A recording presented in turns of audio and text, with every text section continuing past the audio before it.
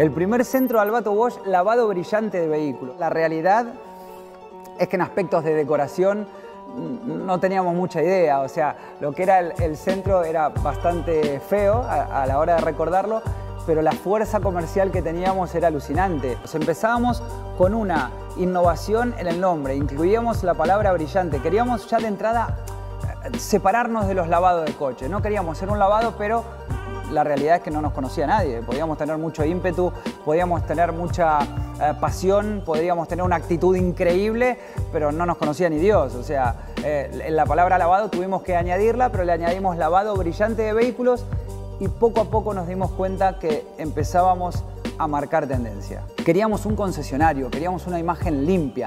Entonces empezamos con nuestros centros de segunda generación que llevaron como denominación el concesionario oficial del brillo. Y cada vez más nos dábamos cuenta que estábamos comenzando una etapa en la limpieza de vehículos a nivel nacional, porque sin ningún lugar a duda empezaron a aparecer la palabra brillante, concesionario, exposición, empezamos a verla como setas naciendo por, por todos lados y ahí nos dimos cuenta que realmente estábamos empezando a ser seguidos por, por muchas empresas del sector. Si al espíritu competitivo le sumas la pasión y encima ahora le sumas los recursos, porque ya empezábamos a tener muchísimos centros, pues dijimos vamos a, vamos a hacer esto cada vez más grande para que los clientes vivan una experiencia de compra alucinante y los franquiciados puedan ser cada vez más exitosos con su negocio, puedan ganar cada vez más dinero, que es lo que realmente nos hace exitosos a nosotros como franquicia. Albato Wash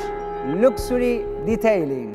Vamos a demostrarle a la gente que realmente lo que hacemos es sorprendente, nuestro nombre lo lleva, nuestro eslogan lo llevan incorporado y la remodelación de nuestros nuevos centros, la nueva imagen, demuestra qué es Albato Wash.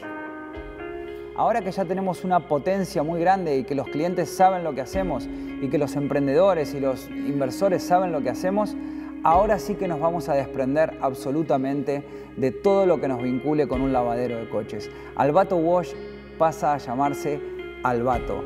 Adiós el wash.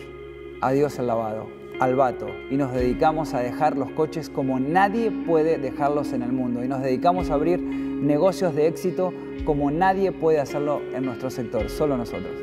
Pero realmente hay algo que nos mueve mucho más, que son los coches, que es esa pasión por los coches. Por lo tanto, hemos buscado la parte del mundo en la que se concentra la máxima pasión de coches. Y la hemos encontrado, ni más ni menos que en Dubái.